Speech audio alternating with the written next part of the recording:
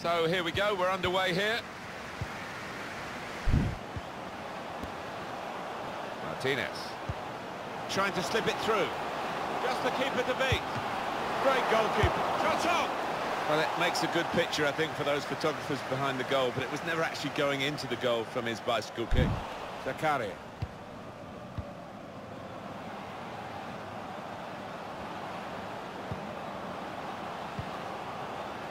Just working away to try and find an opening. Must take the lead here, which they do in good style. Uh, they played some good football leading up to that, Martin, and thoroughly deserved that goal.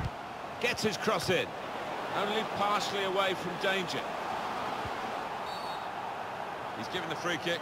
It's in a really threatening position too. Takes on the shot. And the free kick works. It's a great shot. And the goalkeeper had no answer.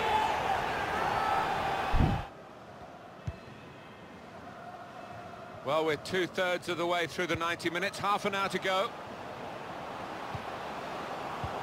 Guiding the pass through. Real chance.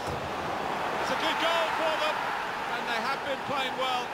No one can really complain about them taking the lead here.